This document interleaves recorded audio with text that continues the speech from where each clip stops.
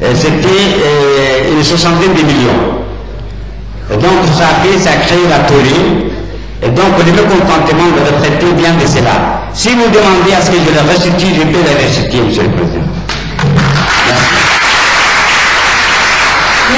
Monsieur le Ministre. Nous débutons la deuxième série de questions avec celle qui sera posée dans un instant par Monsieur Ahmed Barhat Siraj, chef du village de Tadjoura. Il faut qu'on passe au ministère de la Justice. là. de la justice. Monsieur le Président, euh, Monsieur le Premier ministre, je voudrais poser une question euh, à Monsieur le ministre de la Défense.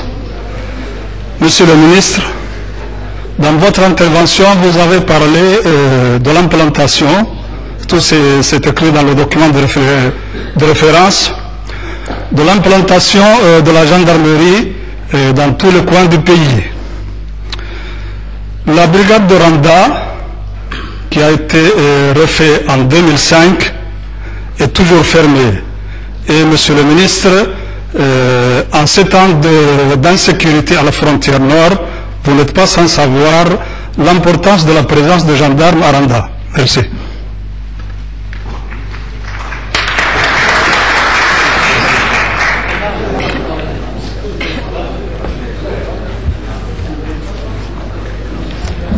Monsieur le ministre, Monsieur le ministre, vous souhaitez répondre à cette question?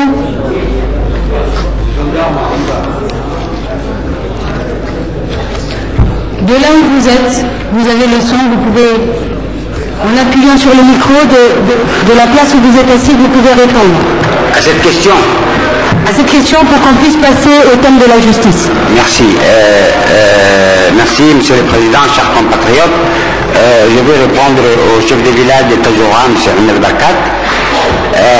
Bien évidemment, sur l'instruction du président de la République, il y a dix ans de Salamine, il m'a été ordonné à ce que je réinstalle la brigade euh, d'Obok, qui n'était pas, donc, qui, n'existait pas à l'époque, et la brigade de la gendarmerie de, de- de- Randa.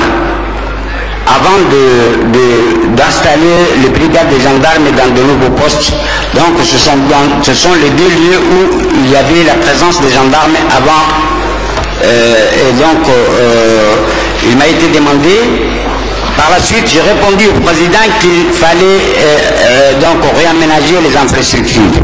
Les infrastructures donc euh, abritant les brigades. À Obok, ça a été complètement dévasté, détruit. À Randa aussi, presque euh, la même situation. Donc le président a pris des années, après il a rénové, et donc euh, euh, il a ordonné à ce qu'on rénove. Et ça demande des budgets énormes. Et il y a eu des travaux, mais quand il a rénové, qu'est-ce que le problème il y a eu On a eu le problème de l'effectif. La gendarmerie aujourd'hui est 600 personnes. Donc à peine nous avons euh, pu créer le, donc, euh, euh, donc euh, réouvrir euh, la brigade d'Obok, comme c'était en chef-lieu. Donc, euh, on ne pouvait pas, à part l'effectif, nous permettre de- de- d'installer euh, d'installer les gens et nous ne pouvions, pas aussi nous permettre d'envoyer quelques gendarmes, 5 ou, ou 5 ou 6 personnes. Il fallait, comme c'est un, coin un peu isolé et éloigné, il fallait à ce qu'il y ait au moins un à groupes. Donc, je crois que cette question, ce, n'est pas par négligence, mais c'est pour des, problèmes techniques et des difficultés. Maintenant aussi, nous essayons d'un peu augmenter l'effectif de la gendarmerie avec l'accord du président et du ministre des, Finances qui nous ont un peu euh, autorisé à augmenter le volume de la gendarmerie pour que les brigades où le nombre de gendarmes sont tellement insignifiants, on puisse les augmenter et, et créer aussi, euh, euh, donc, pour des missions urgentes, la garde des côtes, euh, le GIGN. Et donc, on peut trouver le souffle d'augmenter l'effectif de la gendarmerie un peu pour augmenter, installer euh, le nouveau brigade et pour un peu augmenter le chiffre de gendarmes basés dans les différentes brigades. Merci. Merci Monsieur le ministre pour toutes ces précisions. Nous passons à présent au troisième grand thème du jour qui est le bilan et les perspectives du ministère de la Justice avec un exposé qui vous sera présenté par son Excellence Monsieur Mohamed Barkat Abdelali. Et ce volet sera suivi par mon confrère Salah Ismaël. Merci.